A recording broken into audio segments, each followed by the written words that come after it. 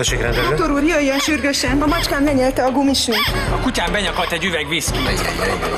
Azonnal jöjjön ki, Csuri a szomszéd üzlet riasztóját utánozza. Vegyen egy nagyobb gumisűnt, ja? És tegyen lakatot a hűtőre. Ezt tegye föl naponta háromszor.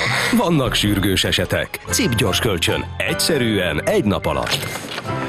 Sürgősen álljon fel onnan. Cip Bank. Egy hullám hosszon.